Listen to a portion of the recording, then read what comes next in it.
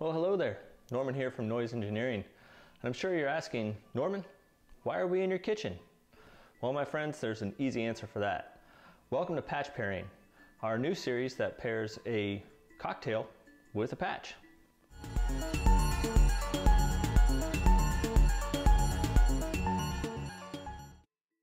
Hey, thanks a lot for hanging out with us today. And to start this series off, we're actually going to be making the favorite drinks from the Noise Engineering team. And today we're going to be making Ankoor's favorite drink, the Mezcal Paloma.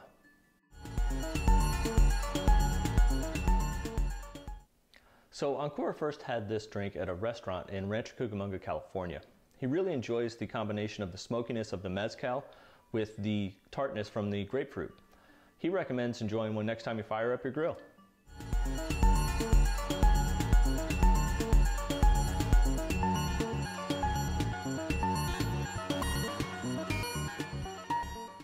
You'll want to go ahead and make the honey simple syrup ahead of time so that it has time to cool.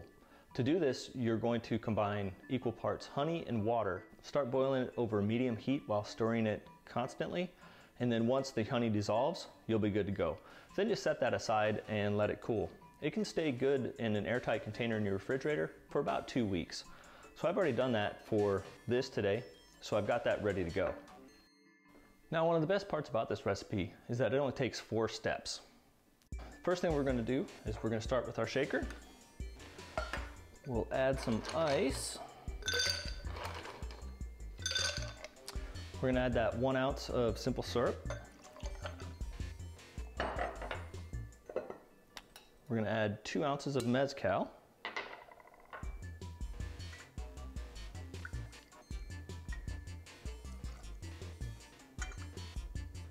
Simple syrup smells so good.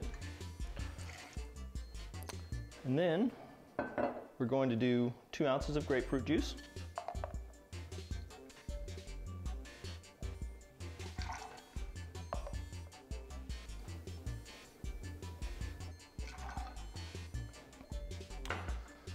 Let that set for just a minute. And then we're going to take our chili salt. We'll put that uh, down on a plate. Take our glass, we're just gonna go across the rim with a lime. And then we'll go through the salt mixture to get that nice and all along the rim.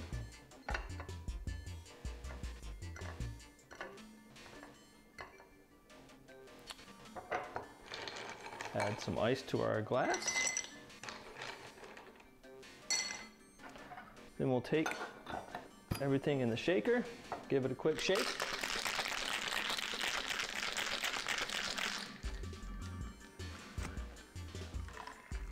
Pour that into our glass. And then we're just gonna top that off with some club soda. We'll garnish it with a grapefruit little sprig of mint and a lime. And there you have it, Mezcal Paloma. Mmm, that's delicious. All right, let's go to the studio and make a patch.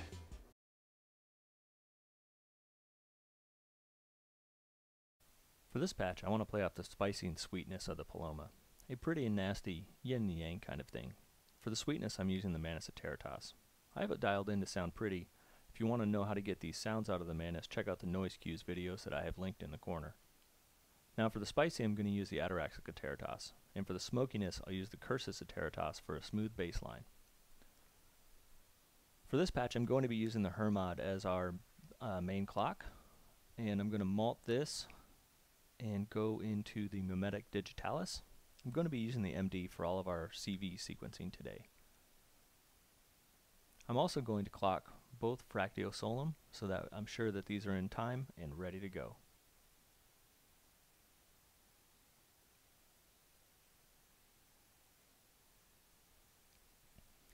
From here, I'm going to start with the Manis. So I'll run the from CV1 on the MD into the Manis.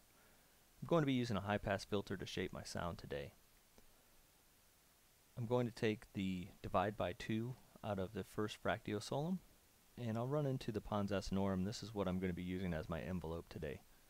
The nice thing about the PA is that since it's normaled, I can use just one trigger and get multiple envelopes out of it. So the first one will go to our filter, and then the next one will actually be triggering the Manis. And then from here, I'll go from the filter into the mixer, and we'll bring in some audio.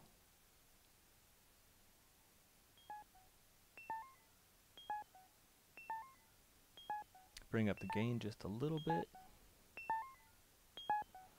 And then now I'll take the CV sequence 2 out of the MD and go into the Ataraxic Iteritas.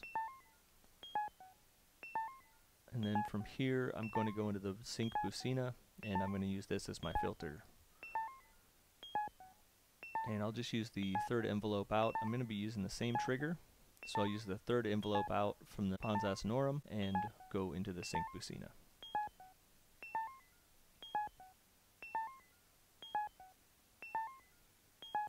And then we'll just go audio out from the Sinc Bucina into our mixer. And let's bring this audio in. And then I'll take the third CV output of the MD, and I'll go to the uh, Cursus Iteritas for this one to get our bass line started.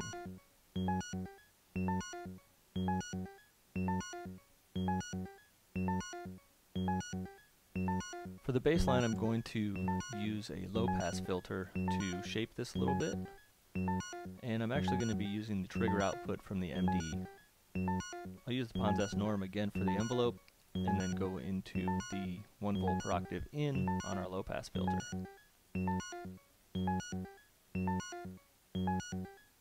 Filter out into the mixer, and we'll bring this in. So we've got three voices going and starting to get somewhere.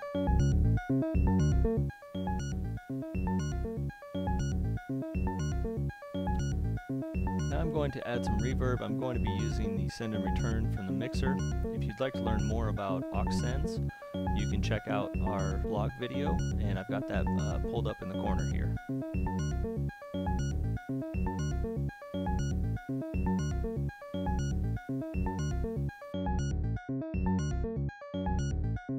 There we go, adding some reverb.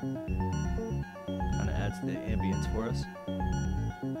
And now I'll do a kick drum. We'll do the divide by two on Fractio Solum number two, and we'll run that into our mixer.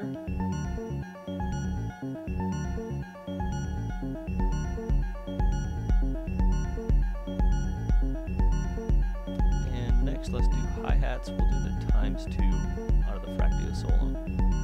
Fractio Solum is great for percussion. You've got your four outputs, different division and multiplications, pretty much percussion in a box.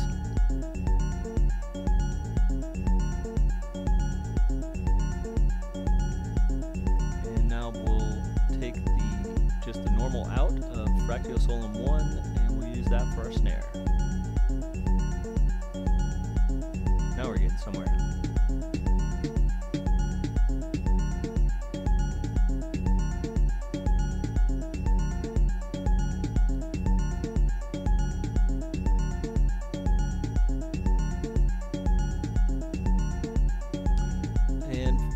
Take the Ataraxic and we'll put it through the Imitor Versio.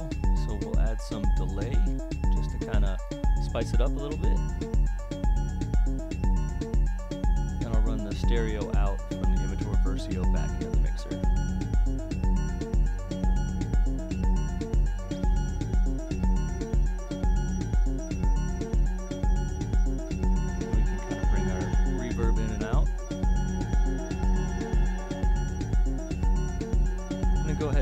this sequence.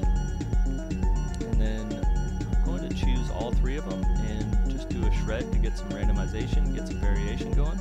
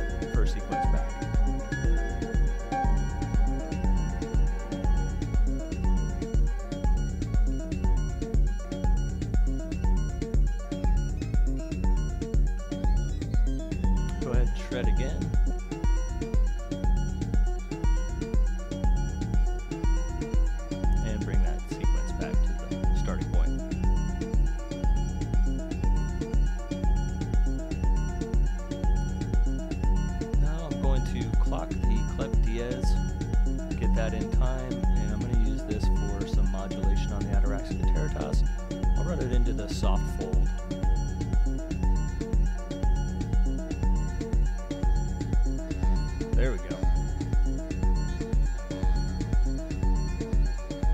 And go through and do another shred. And back to the original sequence.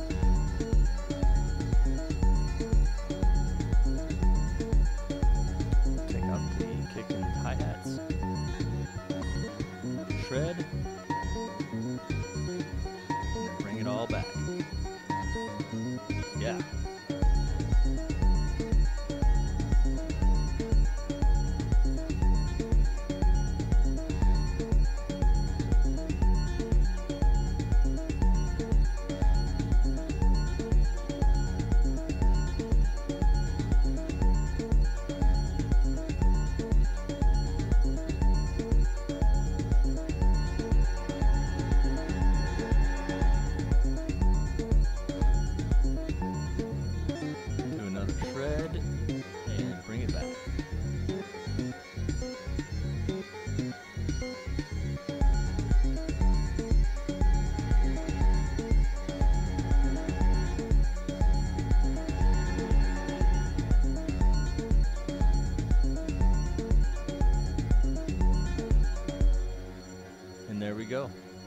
Spicy mezcal paloma jam.